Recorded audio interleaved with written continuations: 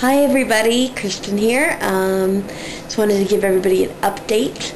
We opened the box on Friday night and had the most surreal weekend ever. Um, first we had our kids variety show that started at 7 and we decided that that show was going to be free. We just wanted to bring people down to the space so they could see it and see the kids and just you know, see what we've been doing and and we had about 80 people show up. It's crazy. I, you know, it was, it was just so strange that that many people came. And then at 10, we had a surprise performance by these amazing improvisers called the Pajama Men. They're just so good. They're originally from Albuquerque. They're Mark and Shenoa, and they used to be part of Tricklock. I believe, and then they moved to Chicago and became part of Second City. And it's another tour all over the country and do their two-man show, and they're amazing. So they were at the space on Friday night at 10, and we sold out completely. There was no place else to sit. There were people sitting on blocks and people standing. I mean, how do we sell out our opening night show? I mean, how is that possible? I don't know. Um, and so that was crazy.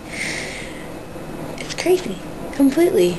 Um, it was so surreal to see that many people, you know, over 90 people in our little space. I mean, it was so strange.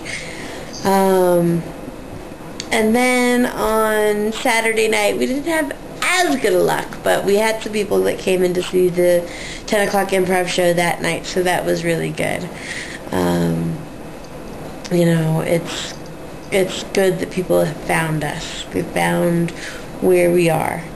Um, I think I've got some video of the line that was outside our space on opening night, so I can put that in here.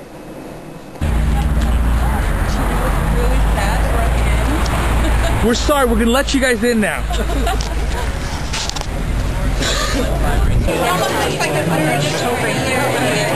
no, we'll keep it going here.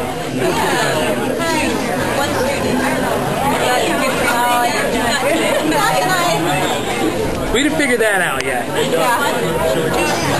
Shut the door. Yeah, go ahead and shut it. We need a sign.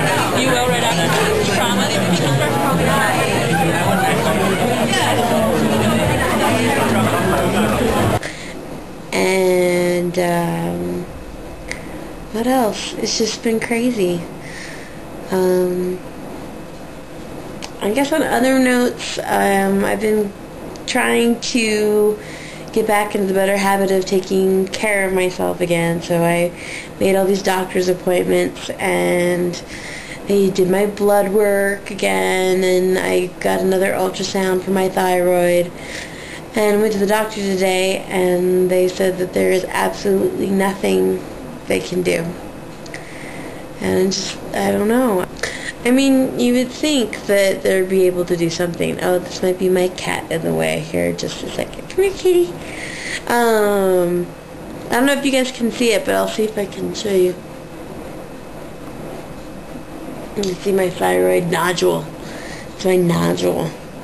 Um, and then there's nothing they can do. Um, so I don't know. My my blood tests come back normal, yet I have this huge nodule on my thyroid.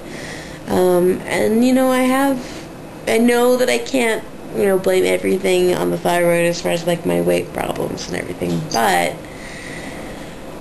you know, where I don't know.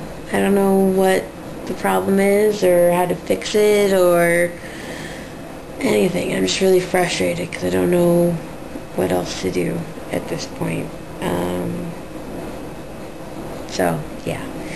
Um, I had a really bad cold, but I guess that's getting over with. So, basically went to the doctor's office today to give them 20 bucks so they could say, there's nothing we can do for you at all. I'm like, thanks a lot.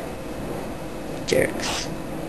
That's how doctors are. They're like that. Um, what else? I've been doing some temp work for a temp agency. Um, worked at a CPA's office checking people's taxes.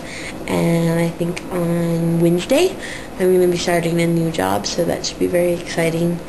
Um, what else? I don't know. You know, just things have been very know, everything's been really good lately except for this, my whole trying to take better care of myself. Um, I'm going to try really hard to start taking my vitamins again and start getting breakfast every day like I used to.